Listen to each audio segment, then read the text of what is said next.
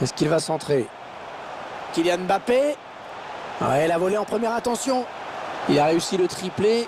Manifestement, la défense n'a pas trouvé la solution avec lui. 3-0, toujours pas de réaction en face.